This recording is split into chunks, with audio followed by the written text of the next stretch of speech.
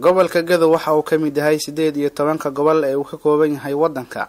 Waxa uu dhacaa gobolka gado koonfurta soomaaliya. Gobolka waxa uu xaduud la leeyahay laba waddan waa kenya iyo etoobiya maanta adduunka waxa uu la daalaadhacayaa caabuqa faafitaanka badan ee coronavirus ama covid nneteen soomaaliya ayaa laga helay dhowr kiis oo caabuqaasi ah wasaaradda caafimaadka dowladda soomaaliya ayaa soo bandhigtay magaalooyin ay ugu talagashay in la geeyo agabka looga hortago caabuqa coronaviruska ama lagu baaro.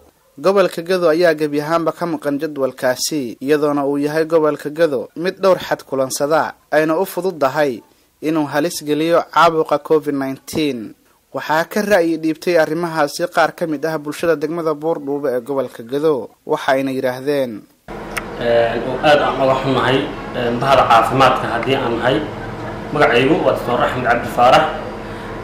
Waxaan aad uga xunnahay wasaaradda caafimaadka soomaaliya dhibaatada ay ku wada gobolka gado shan bilood ka hor yay ahayd waxay xaqiraad ay ku samaysay degmada buurdhuubo haddana waxay xaqiraad caadi ah ku samaysay gobolka gado. Saas oo tahay marka haddana waxaa aada looga baqayaa cudurkan dilaaga oo covid nneteen waxaan dowladda marka soomaaliya aan oga xunnahay in ay ka taxadari weydo xuduudaha etoobiya iyo kenya.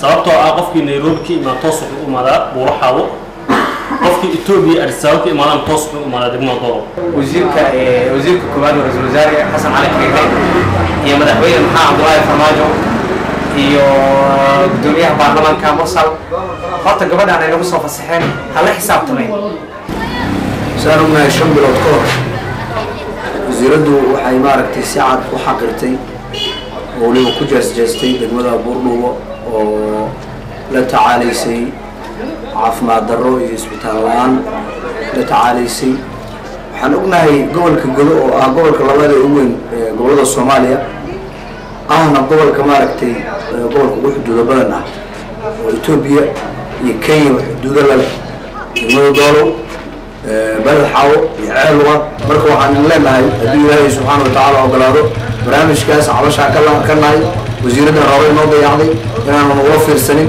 ra'iisul wasaare khayre baan si caadi ola hadlaynaa. Gobolka gado wuxuu xuduud la leeyahay laba gobol. Si fiican u dhegeysta soomaaliya. Laba gobol buu xuduud la leeyahay. Ethiopia iyo kenya. Labadaba xuduud buu la leeyahay. Labada gobolba positive waaye not negative? Still. Wasaaradda caafimaadka haddii ay xaqirto oo dhinacii kaletana iga xaqirto maxaa laga filanaya shaqsi soomaaliyeed baan xaq baan leeyahay inaan mucaaratamo inaan hadallo ku adeegsado inaan wasaaradda wadnama matasho waxyaaba badan.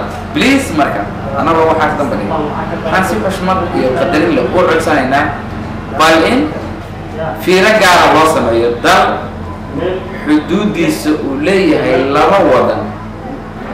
Gobol baan u socnaa i mean gobol. Laba wadan xuduud la leh labada wadanna ay positive yihiin maxay mudan yihiin? Waa su'aashaan weydiinayo wasaaradda caafimaadka. Ma wuxuu mudan yahay in laga jeesto mise wuxuu mudan yahay in loo gurmado? Halkii qof oo ku dhinta ilaahayna waa idinkula xisaabtamaya annaguna waa idinkula xisaabtamaynaa haddii aan badbaadin